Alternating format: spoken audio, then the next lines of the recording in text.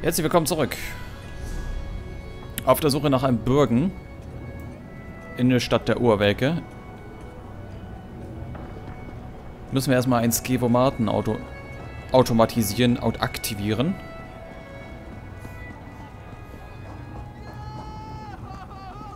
Hier vorne Wie ist könnt ihr es wagen, Kamit?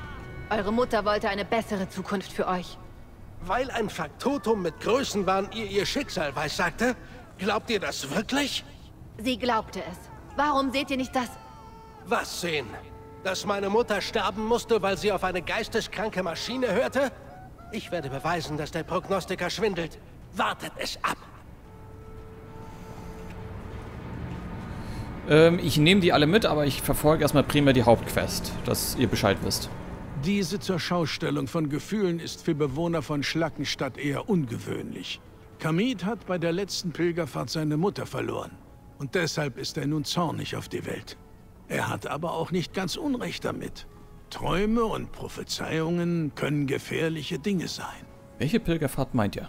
Einmal im Vierteljahr machen sich die tapfersten und verzweifelsten Mitglieder unserer Gemeinde auf den Weg, um den Großprognostiker um eine Vorhersage zu bitten. Nicht jeder erhält eine Vorhersage, aber viele sind mit der Hoffnung gestorben, dass sich ihr Schicksal ändern wird.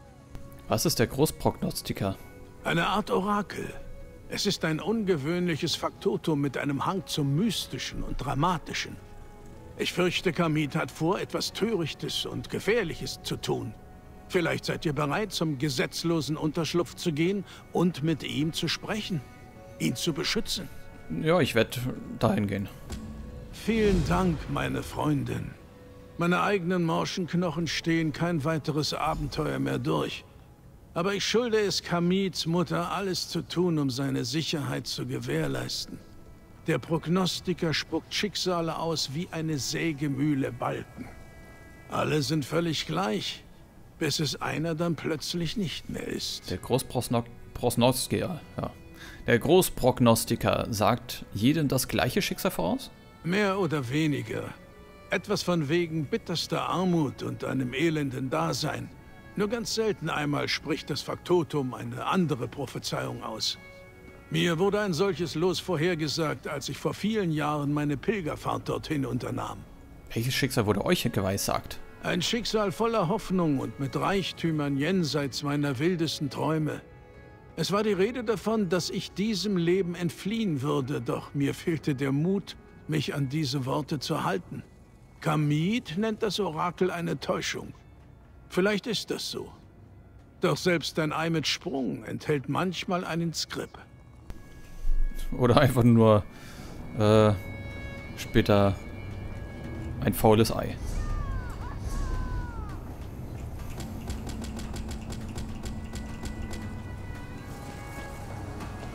Aber zurück zum Skivomaten. Da seid ihr ja. Da seid ihr ja. Ich habe das Gerät vorbereitet. Alles ist soweit. Seid ihr dafür gewappnet, durch die Augen eines Uhrwerkautomaten zu sehen?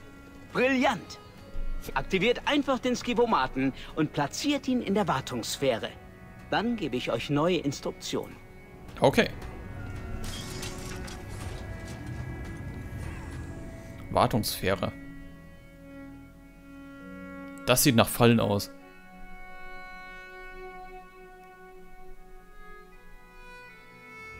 Ausgezeichnet. Okay. Wie geil ist das denn? Ich bin eine Maus.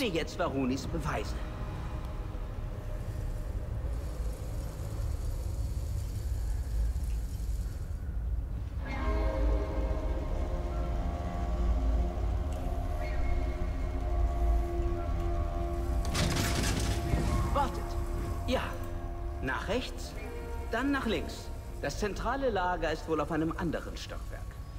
Achso, soll ich hier weg oder was? Kann ich hier rein? Ne. Aua, Feuer heiß. Oh, der Bildschirm macht aber manchmal nicht mit. Vor allem der ist nicht so zentriert.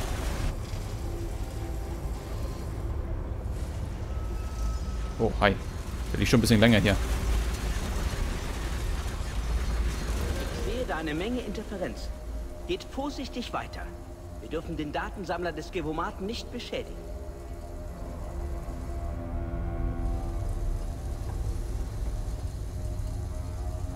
Okay, ich bin gespannt, ob ich hinkomme.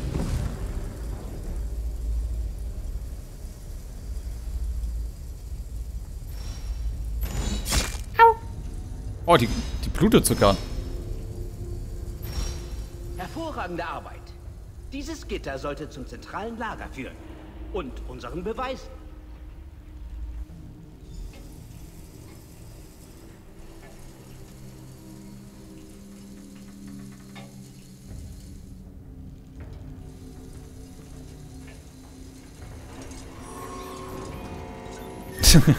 Neues Buch entdeckt. Registrierung der alten, der aktuellen Faktotenmodelle. Serie 1 eingestellt, 2, 3, 4, 5, 6, 7. Aktuelle Generation 946 Partitionen aktiv. 6400 Partitionen gelagert. Gehgeschwindigkeit und Koordination erhöht, Treppensteigen deutlich verbessert, auftretende Gedächtnisregressionsvorfälle weiter reduziert, vorderer Stauraum angebracht, Sichtwert um 20% erhöht, Möglichkeiten für Gesichtserkennung und Mimikverständnis verbessert, Vok Vokabular um 670 Wörter erhöht, Bedrohungserkennung und Reaktionszeit weiter verbessert.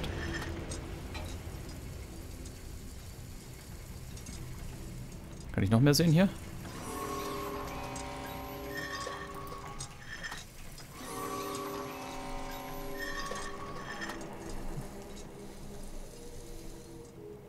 Die Dinge sehen aus wie aus Bioshock hier.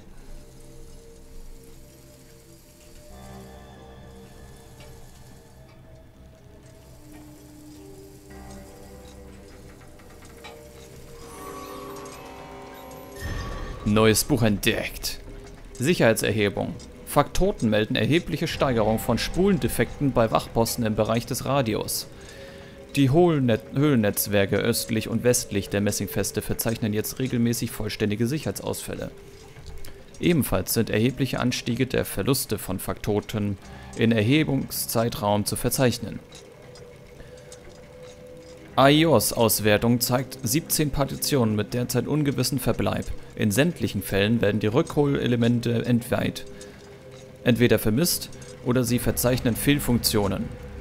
Empfehlung Umfassende Erhebung durch Apostel in betroffenen Gebieten, Querverweis auf Unglücksbereichte, Bewohner A77 645 und X99876. Beide erwähnen Gestalten in schwarzen Roben in den relevanten Regionen. Wert für innere Sicherheitsnummer gesunken auf 83%. Mein Harry ist auch runter auf 83%.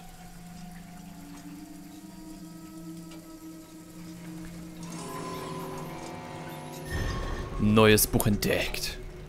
Wartungsprotokolle für mechanisches Fundament. Faktoten wurden befohlen, sämtliche organische Materialien im mechanischen Fundament aufzuspüren, darunter 17 verstorbene Personen. Alle Währungs- und potenzielle Identifikationsgegenstände müssen im Müllraum der Konstabler abgegeben werden.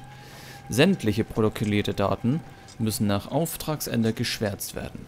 Befehlshabender Bewohner BAL 167.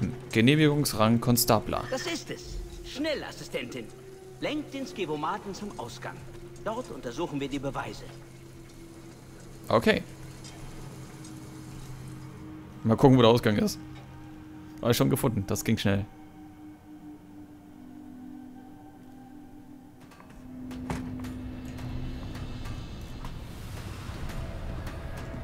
Ah, wo ist denn der Neramo?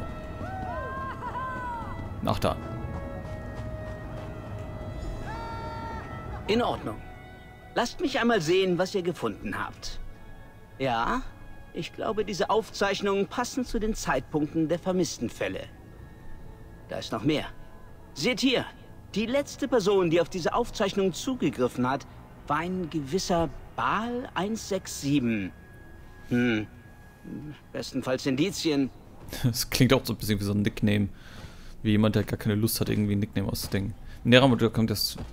Okay, hat sich erledigt. Sag gerade aus, als wäre dabei. Wie schlagt ihr vor, dass wir diesen Ball 167 finden? Wir könnten schon eine Spur haben. Ich teilte Varunis Sorgen Kiret mit, kurz nachdem ihr die Basilika verlassen hattet. Sie bestand darauf, der Sache selbst nachzugehen.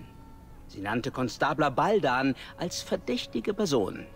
Seine Ah. Amtsstube sollte südwestlich von hier sein. Ball 167. Konstabler Baldan. Ich werde Kirin aufspüren und nachhorchen, was sie herausgefunden hat. Warum bin ich so klein eigentlich? Neramo, bist du riesig? Warum bin ich gesprungen? Warum bin ich so klein? Warum ist Neramo so riesig? Ich bin doch nur normale Bretone. Ihr habt kein Recht, mich so zu behandeln. Ich bin ein Mitglied des Hauses Lalu. Das hören wir ich schon länger. Irgendwen sprechen. Ich will irgendwen sprechen. Ah ja, ich erinnere mich. Die großen Häuser. Ah, da seid ihr ja. Seid ihr fertig mit Neramos Aufziehspielzeug? Ich glaube, ich bin da etwas auf der Spur. Oh, was habt ihr erfahren? Ich habe mich ein wenig umgehört. Man munkelt, dass Konstabler Baldan für jeden bürgt, wenn derjenige nur ordentlich zahlen kann. Wohin sie verschwinden, nachdem er ihnen das Gold abgenommen hat? Das weiß niemand so genau. Zum Glück sind wir hier, um das mal zu klären. Hier, nehmt diesen Erinnerungsstein. Was soll ich damit tun? Ich habe das Gebäude erkundet. Jemand hat die Tür zu Baldans Lagerkammer offen gelassen. Sie sollte einen idealen Blick auf sein Büro bieten. Klettert da hoch und wartet ab. Sobald ich das Bestechungsgeld anbiete, zeichnet ihr das Gespräch mit dem Erinnerungsstein auf. Dann haben wir ihn. Klar. Ich mache mich dann auf den Weg. Lagerkammer betreten, okay.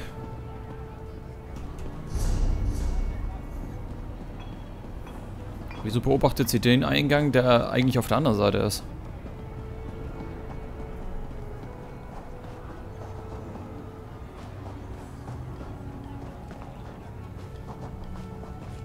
Da ist eine Himmelsscherbe oben, okay.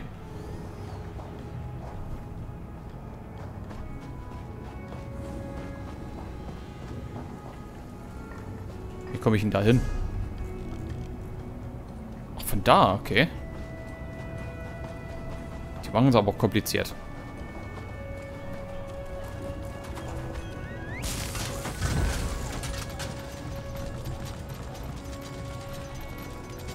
Ihr habt kein Recht, mich so zu behandeln. Ich bin ein Mitglied des Hauses Lalu und ich will irgendwen sprechen. Euer Haus. Ist immer noch lustig. In Ordnung, Baldan. Ich habe euer Gold. Könnt ihr für mich bürgen? Oh, euer Angebot nehme ich an. Aber Bürgen? Das kann man nur für die lebenden Befleckte abschauen. Tut es. Ich habe nur die Hälfte verstanden. Oh nein, sie haben Tiere Nun, da. worauf wartet ihr noch? Sammelt das Gold ein und werft sie zu den anderen. Niemand soll unseren jüngsten Besuch finden. Wir müssen sie retten.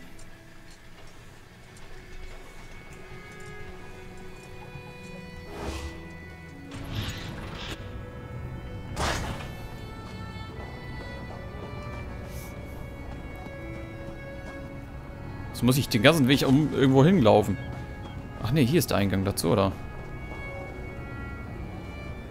Ne, einer steht schon mal hier, okay. Da seid ihr.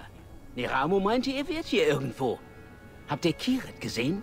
Ist sie bei euch? Es tut mir leid, aber Konstabler Baldans Schergen haben sie niedergeschlagen und weggeschleift. Sie haben was? Wie konnte sie? Wir müssen sie retten. Ihr habt keine Ahnung, wohin man sie gebracht haben könnte, oder? Noch nicht, aber ich werde es herausfinden. Ihr sagt es Varoni und Neramo. Ja, natürlich. Ich werde Hilfe holen. Vielleicht könnte ich sogar eine Art Klangaufspürer zusammenzimmern. Ach, nicht genug Zeit. Was würde Kire tun? Sie würde ermitteln. Ja.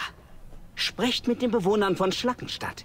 Sie wissen so gut wie alles über diesen Ort. Schlackenstack. Okay. Ich hole die anderen. Ihr sputet euch nach Schlackenstadt. Was genau ist Schlackenstack? So nennen die Einheimischen die Elendsviertel in der Nordostecke der Feste. Ich muss zugeben, ich war überrascht, derartige Behausungen in Sotasils heiliger Stadt vorzufinden. Doch andererseits war hier praktisch alles eine Überraschung. Ja, ja, das glaube ich. Schlackenstadt. Das ist auf der anderen Seite. Warum? Die wurde doch hier weggeschleift. Jetzt muss ich nach Schlackenstadt? Oh Mann, ich werde müde. Okay. Schlackenstadt. Ihr habt kein Recht, mich so zu behandeln. Ich, Ich bin ein Mitglied des Hauses Lalu und ich will irgendwen sprechen. Irgendwen sprechen. Euer Haus. Ah ja, ich erinnere mich. Die großen Häuser, die antiquierte Autorität. Hey, euch die Knöchel und geht weiter, Grünferse. Diese hat euch nichts zu sagen. ich suche nach einer Dunkelelfin Baldans Schergen könnten sie hier durchgeschleift haben. Wisst ihr irgendwas? Ihr Außenseiter seid doch alle gleich. Drängelt euch in der Schlange vor, schnappt uns das Bergungsgut weg, grinst dumm und spielt euch auf. Ihr seid nicht besser als wir. Würdet ihr das auch genauso sehen, wenn ich euch beide Beine breche? Und schon habt ihr bewiesen, dass ich recht habe. Immer nur Ärger, immer nur Gewalt. Und die arme Seiber steckt mittendrin. Verfaucht sollt ihr sein. Baldan hat eure Freundin wahrscheinlich ins Fundament geworfen. Das Labyrinth unter der Stadt. Wenn ihr ihr nachgeht, wird keiner von euch beiden lebend wieder rauskommen. Wir könnten euch überraschen. Und sie rotzt mir noch demonstrativ vor die Füße. Gut. Das hat die gesehen von da hinten aus. Das ergibt doch gar keinen Sinn.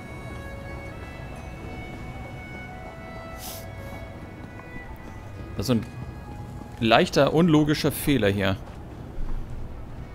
Was wollt ihr? Das ist noch eine Quest. Aufseher Sovo Sarioni.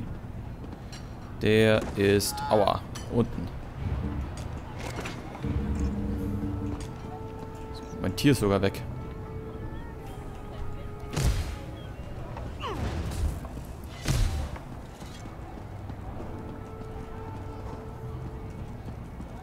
Wo ist denn der? Hier drin?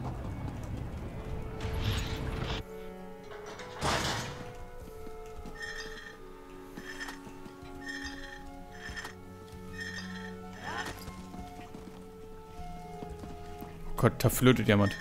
Äh, versuch's zumindest.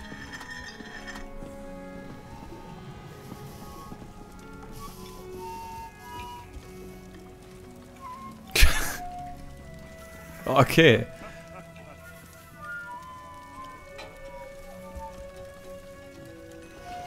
Ich bringe dir jetzt das Flöten bei. Ich mag Lagerfeuer. Sie ziehen interessante Leute an.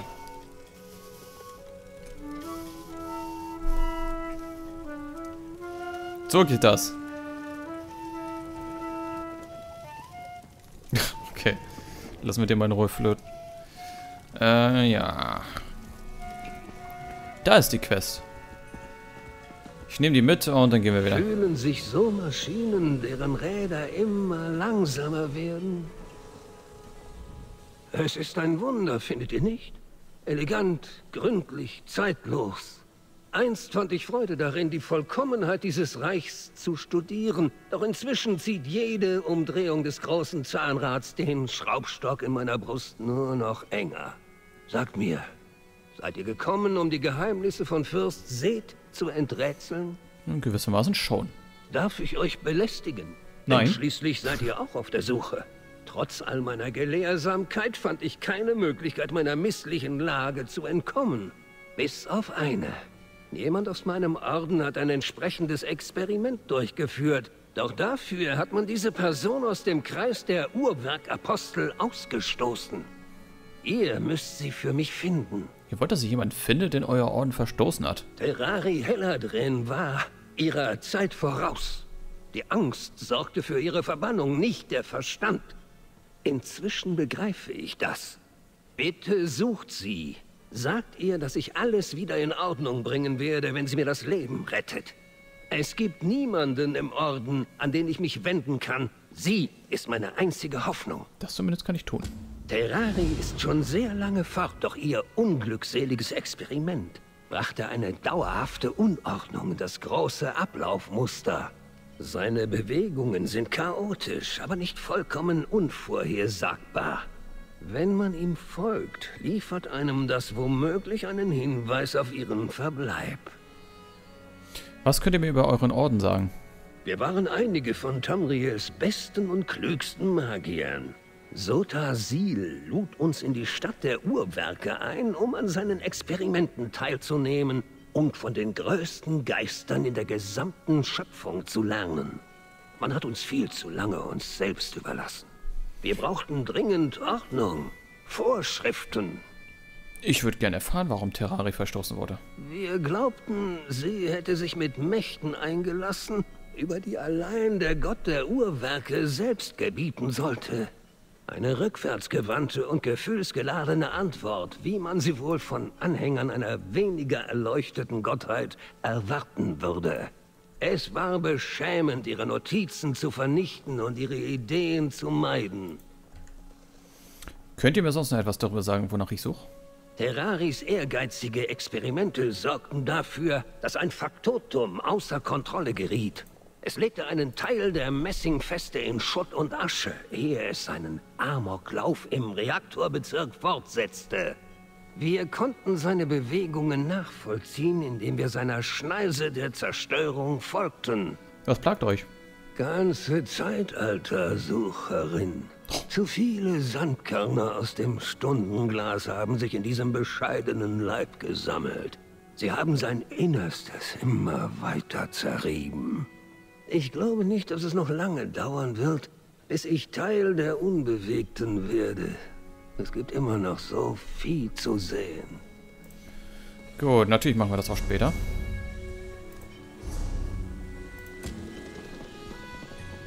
Muss mir aufpassen, dass ich auch die Hauptquest nicht aus den Augen verliere hier.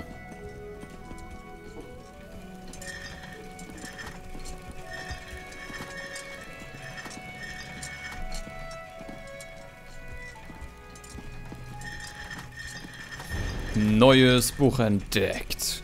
Die Wahrheit in Sequenzband 9 aus dem Predigen von Deldrise Morwein, vierte Tourbillon der stets gespannten Antriebstour.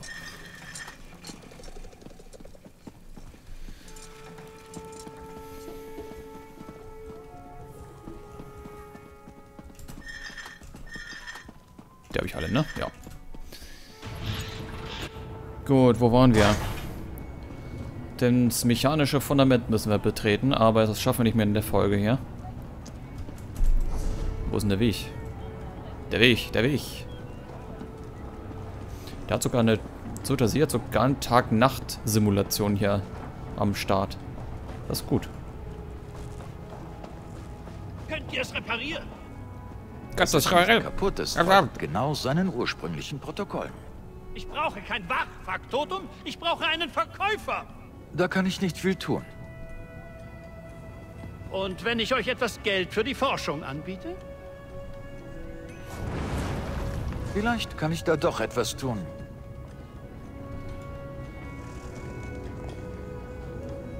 Offenbar nichts.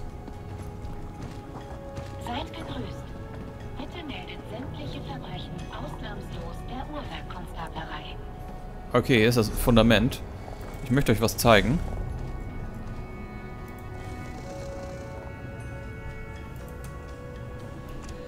Ich bin ein Faktotum.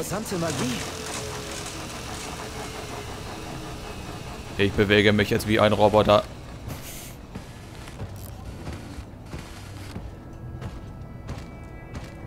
Vielen Dank fürs Zusehen.